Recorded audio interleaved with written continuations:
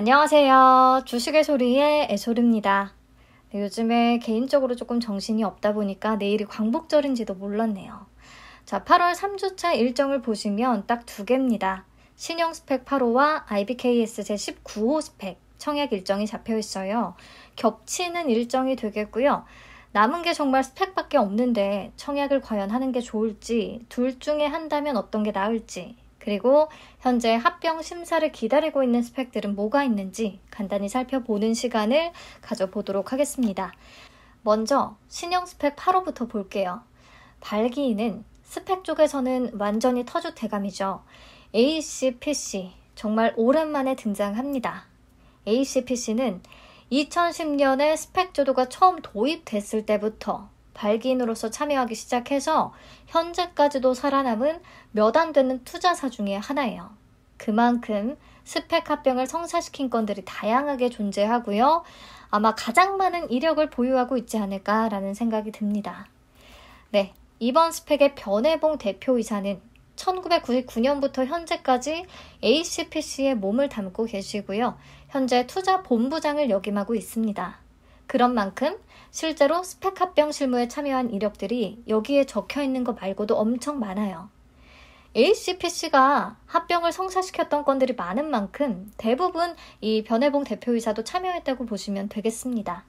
네, 그래서 조금 믿음이 가는 부분이 있기는 하고요. 그리고 남승현 기타 비상무이사는 신영증권에 근무하고 계시고요. 대부분의 신형 스펙들 합병 실무에 참여했다라고 보시면 되겠습니다. 네, 이런 뭐 과거 이력들이 미래 성과를 보장하지는 않지만 임원진들의 경력이 다소 화려한 편이다라고 볼 수는 있겠네요. 그리고 신용증권은요, 스펙에 있어서는 정말 강자입니다. 다른 건 어떨지 몰라도. 지금까지 총 7개의 스펙을 상장시켰는데 6개 스펙이 합병에 성공했어요. 6호는 현재 거래소의 합병 심사를 기다리고 있는 상태기는 합니다. 아무튼 그렇다면 성공률은 86%에 가까워요. 매우 높습니다. 넘어가서 해산시의 한 주당 반환 예정 금액은 예치율 1.65%를 가정했고요. 2,100원으로 기재가 되어 있습니다. 이자율은 변동 가능하겠고요. 그리고 총 625만 주로 공모, 그래서 총 공모 규모는 125억 원이 됩니다. 조금 규모가 큰 스펙에 속해요. 환불은 이틀 걸리고요. 상장일은 아직은 미정입니다. 당연히 신영증권에서 주관하겠고요.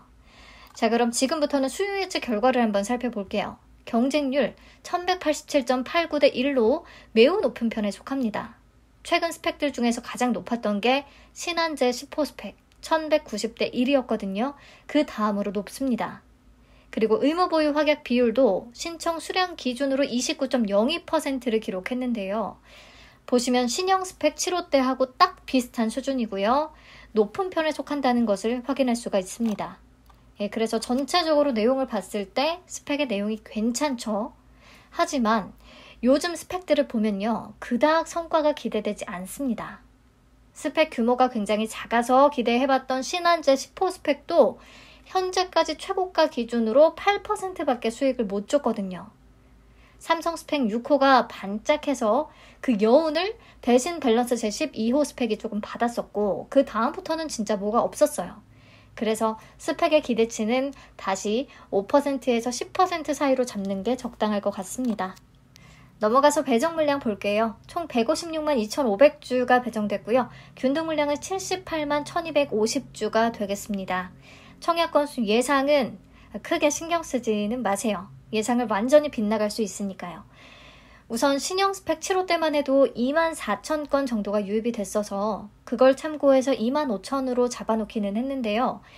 그나마 지금 청약을 할 게 스펙밖에 없기 때문에 예상외로 스펙에 조금 더 몰릴 수도 있겠고 반대로 요즘 스펙 분위기가 완전히 죽었기 때문에 다들 패스할 가능성도 있습니다. 네, 그냥 참고해서 봐주세요. 네, 청약 한도는 신용증권은 대부분 100%에 해당하실 텐데 그렇다면 1억 400만 원까지 가능하겠네요. 그리고 수수료 2,000원 있습니다.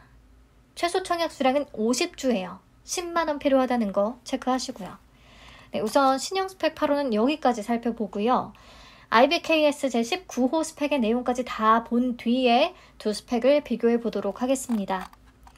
IBKS 제19호 스펙의 발기인은 뉴젠 인베스트먼트입니다.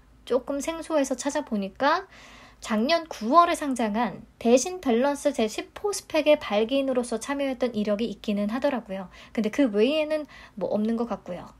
대신 10호는 아직은 합병 소식이 없습니다. 네, 참고하시고요. 임원진들의 경력을 봐도 스펙과 관련된 이력은 없었습니다. 이번 스펙의 임세광 대표이사는 현재 삼화 회계법인의 전무이사로 계시고요. KB 스펙의 합병 시 지분 가치 산정과 합병 비율을 산정하는 데에는 참여하셨더라고요. 그래서 스펙을 뭐 합병시키는 그런 실무보다는 회계사로서 합병 비율 산정 이력이 있다는 것 정도 보시면 될 것 같습니다. 네, IBK 투자증권도요, 스펙으로는 좋은 성과를 내는 하우스 중에 하나입니다. 18개의 스펙을 상장시켰는데, 이 중에서 2개가 상장 폐지됐고요. 14개는 합병 대상을 찾았습니다. 그래서 성공률이 77% 정도가 되겠네요. 나쁘지 않습니다. 그리고 해산 시의 한 주당 지급 예정 금액은 예치율 2%를 가정 2,122원으로 기재가 되어 있습니다. 지금까지 봤던 것 중에 예치율이 가장 높은 것 같아요. 네, IBKS 제19호는 475만 주를 공모합니다. 그래서 공모 규모는 95억 원이 되겠어요. 그냥 보통의 규모죠. 신형 스펙 8호보다 작기는 하지만 소형 스펙은 아니에요. 어, 일정은 똑같습니다. 그리고 상장은 8월 26일로 예정이 되어 있고요. 네, 수요 예측 결과 보시죠. 경쟁률 1172.7대 1로 높은 편입니다. 신형 스펙 8호보다는 조금 낮고요. 그리고 의무 보유 확약은 따로 신청받지 않았습니다.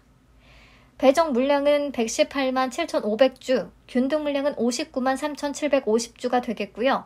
지난 18호 때 2만 3천 건 정도가 들어왔는데 이번에는 어떨지 모르겠어요. 비슷하거나 조금 덜하거나 하지 않을까 싶네요.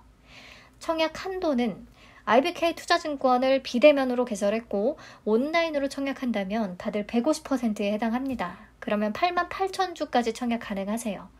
그리고 수수료 1,500원이 있는데 IBK 투자증권은 약간의 꼼수를 부리면 이 수수료를 아낄 수 있다는 거 아시죠? 청약 증거금 100% 배정의 이유로 환불금이 없는 경우 온라인 청약 수수료를 부과하지 않습니다. 이게 뭔 소리냐? 예를 들어서 나는 20주를 청약했는데 균등 배정 수량이 28주가 된 경우 나는 20주에 대한 증거금을 납입했고 20주가 전부 배정이 될 거잖아요. 그러면 환불금을 줄 게 없다는 거죠. 청약 증거금이 100% 배정이 됐으니까. 어, 이렇게 되면 수수료가 부과되지 않습니다. 수수료를 아낄 수 있는 팁이에요. 참고하시고요. 그럼 신형 스펙 8호와 IBKS 제19호 스펙을 비교해서 정리해서 보겠습니다. 공모 규모는 IBKS 제19호가 더 작기는 한데요. 발기인이나 뭐 임원진들의 스펙이라든가 증권사의 합병 성공률 그리고 수요 예측 결과 이 모든 부분에서 신형 스펙 8호가 조금 더 우위를 점하고 있는 모습입니다. 그리고 중요한 게 신형 스펙 8호는 의무 보유 확약을 받았고 IBKS 제19호는 확약 신청을 받지 않았잖아요. 그렇기 때문에 최종적으로 확약 비율을 적용하게 되면 신형 스펙 8호의 유통가능 금액이 더 낮아질 가능성이 있습니다. 충분히. 제가 수요 예측 때의 확약 비율을 그냥 그대로 적용해서 계산해 본 유통가능 금액이 신형 스펙 8호가 약 97억 원 정도가 되더라고요. 아마 확약 비율이 이것보다 조금 더 올라갈 가능성이 훨씬 더 높기 때문에 최종적으로 유통가능 금액도 신형 스펙 8호가 조금 더 작지 않을까 생각합니다. 그래서 두 개의 스펙 중에서는 신형 스펙 8호가 더 괜찮아 보이기는 합니다만 여러 가지 측면에서 근데 스펙들은 기본적으로 단기간 내에 10% 이상의 수익을 내는 게 쉽지 않고 아마 고만고만한 수익률을 기록할 가능성이 꽤 높기 때문에 청약일 그냥 경쟁률이 더 낮은 스펙이 단기적으로 봤을 때는 더 유리할 수도 있겠습니다. 그리고 균등만 생각을 한다면 IBK 투자증권은 청약 수수료를 아낄 수 있는 그런 꼼수를 활용할 수 있는 방안이 있으니까요. 그렇게 해서 수수료를 아끼는 편이 좀 더 나을 수도 있겠고요. 청약일의 경쟁률을 보면서 이것저것 따져보고 판단하시면 되겠습니다. 그리고 제가 몇 차례 말씀을 드리지만 저는 스펙을 공모 참여하기보다는 합병 결정 공시 후에 거래 정지 중인 스펙들에 더 관심을 갖는데요. 이 스팩들이 합병 승인을 받고 거래가 재개되는 당일 시초가에 사서 단기로 단타로 접근을 하거나 거래 재개일에 급락하는 것들을 저점에서 잡아놓고 조금 기다려 보거나 이 두 가지 방식으로 접근을 하고 있어요. 다행히 지금까지 손해 본 적은 없습니다. 처음에는요, 막 합병 대상 기업에 대한 밸류에이션도 분석을 하고, 뭐 전망도 살펴보고, 합병 비율 이런 것도 다 따져보고 접근을 했는데, 지금은요, 진짜 그냥 단순하게 거래 재개일, 시초가가 플러스로 시작할 것 같은 종목은 그냥 시초가에 바로 한번 매수를 해보고요.